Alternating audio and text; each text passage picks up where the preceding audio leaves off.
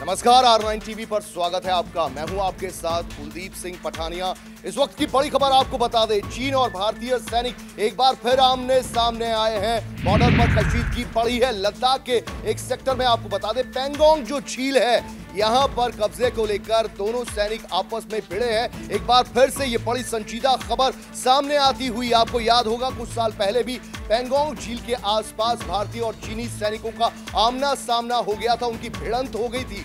आपको ये भी बता दें कि पेंगोंग जो झील है, वैसे तो वो ऑक्साइड चिन्ह का पार्ट है, जिस पर भारत का कब्जा होना चाहिए। भारत उस पर अपना हक भी रखता है, लेकिन यहाँ पर अभी फ़िलहाल जो स्थितियाँ हैं पेंगोंग झील का 60 फ़ीसदी जो इलाका है, वो चीन के कब्जे वाले क्षेत्र में है और जो पेंगोंग झील का करीब करीब 30 से 40 फ़ीसदी का हिस्सा भारतीय क्षेत्र में आता है और यही बड़ी वजह है चाइना जो है, या चाइना के जो सैनिक हैं, लगातार पेंगोंग झील के आगे बढ़ने की कोशिश करते हैं, आगे घुसपैठ करने की कोशिश करते हैं। लेकिन इस बार जब भारतीय सैनिकों को उन्होंने रोकने की कोशिश की तो फिर ये कशीदगी जो है पड़ गई। आपको बता दें, भारत और चीन, सीना में झड़प की खबरें ये सामने आई दरअसल पेंगोंग झील के उत्तरी किनारे पर दोनों सेनाओं के जवानों के बीच ये नोक झोंक हुई है। हालाँकि इसके बाद दोनों पक्षों के बीच प्रतिनिधिमंडल स्तर की वार्ता हुई है। इस वार्ता के बाद हालात थोड़े सामान्य हुए हैं, लेकिन लगातार डैम चौक हो, डोकलाम हो या पेंगोंग झील हो, चीन के सैनिक